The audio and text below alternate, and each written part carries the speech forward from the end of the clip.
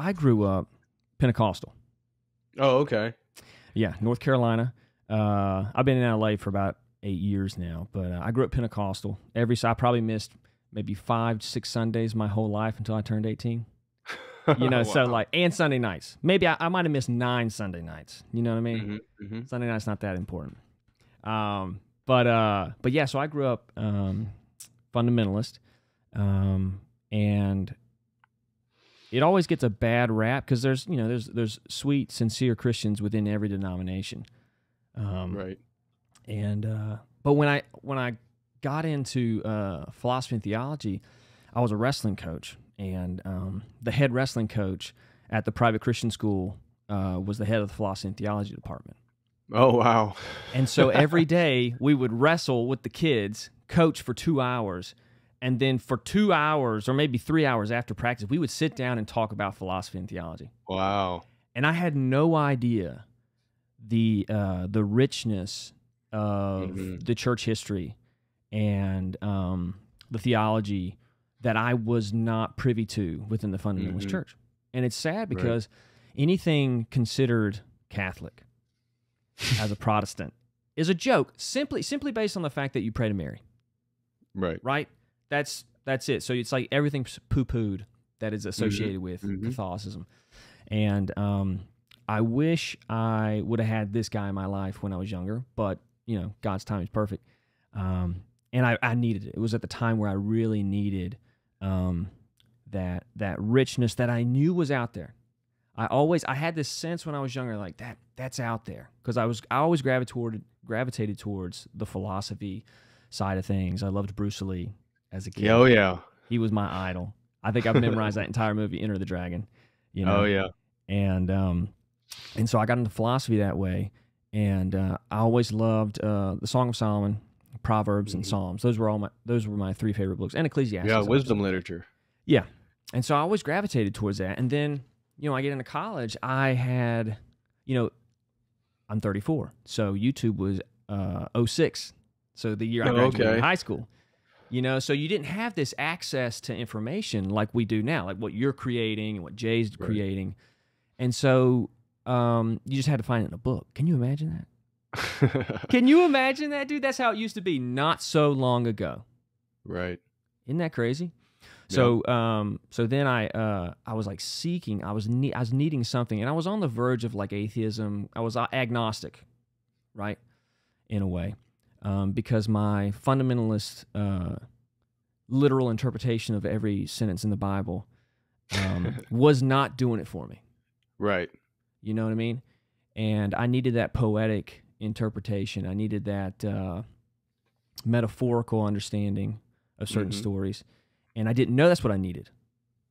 Um, but then I met my buddy John, and he opened up he opened that up that world to me, and uh, I have been obsessed ever since in my own way. Right. You know what I mean? Um, so when I saw you, I saw you talking to Jay about psychedelics.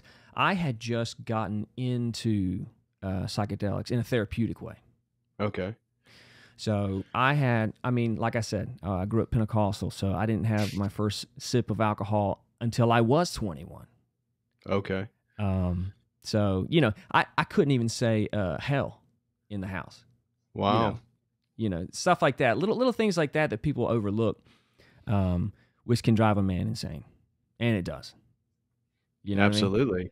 yeah. um, so that literal interpretation of the fundamentalist church is is something that uh, is near and dear to my heart because I sympathize with those people Mhm. and uh, like I said you know there's a lot of good-hearted Christian people within that denomination uh, in, in, in you know evangelical denominations that um, that need a little bit more. Just to enjoy their life a little bit. Like not saying hell. Like man saying hell every once in a while is pretty fun. Like what the hell I mean but like that's that was how extreme it was. Right. you know what I mean? Um, so then when I got out to LA I started uh, I couldn't sleep in my 20s stressed out anxiety not not where I wanted to be you know all the, all the stuff in your 20s where you're like you know people are thinking I should be here and and, Right. and I'm not there yet you know you're so ego uh, egotistical right. and um, I couldn't sleep so I tried sleeping uh, pills for like I don't know a month and I just felt like a zombie oh, you know I mean? And Right. I was like, I can't do that. I got to work out. Like I got to stay in shape. Like, and at that time I was training like MMA and still coaching wrestling and stuff. And uh, Mm-hmm, mm-hmm. and I moved out to LA, and I waited two years. I got my card. I got my medical card. Okay. You know, I, I was like, you know, trying to be as, Oh, as legal as I could about it. And um, I smoked, and that helped me sleep. Uh huh. Um, and then I was like, oh, well, maybe it's not as uh, not as damning as I thought it would be. And then I got into psychedelic therapy research, and uh, Well, what started- psychedelics specifically? Psilocybin, MDMA, Both, both of those. both those. Yeah. And so um, I started microdosing psilocybin first, and I felt, you know, a lot of a lot of benefits anxiety wise, you know, and uh, depression wise. And then I did uh, an MDMA therapy session, and that Okay. uh, I would say that's the greatest thing I've ever done for myself. But I have a background as a Christian. You know what I mean? Okay. I, and, and I think this is where what our conversation can get really interesting. okay. And I want to hear your, your thoughts on this. I find that people, and I don't know what your background is. I should have asked this before I uh, state this, this statement. Um, but I think a lot of people without a religious background find psychedelics and find that it's the the doorway to understanding themselves, or maybe the universe, or or, or a combination mhm. of both. And I didn't have that, so my my identity and my uh, my worldview has been shaped through my Christian beliefs right. before the psychedelics. And so I, you know, like I said, I did psychedelics in a therapeutic way, and that has actually made my relationship with God better.